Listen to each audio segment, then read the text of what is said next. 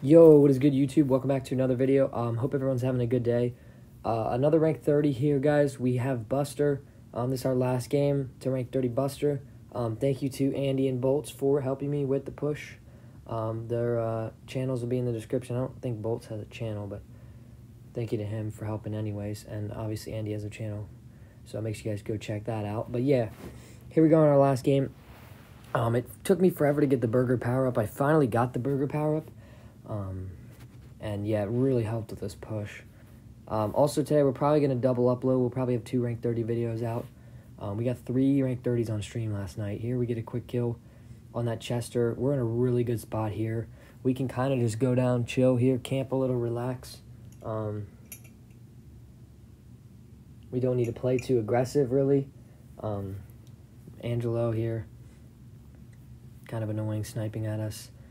Um, kind of move in here at the end. Still a couple teams left.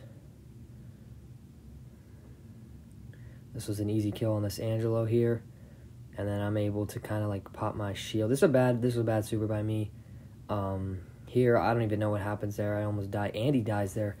Just insane damage from Chester, I think, or Poco, whatever it was. And then here we kind of have this team trapped. Mortis is one. HP. Um, I'm more just focused on this Gale right now. So we take him out, and then we just have to get second. We kill the Mortis.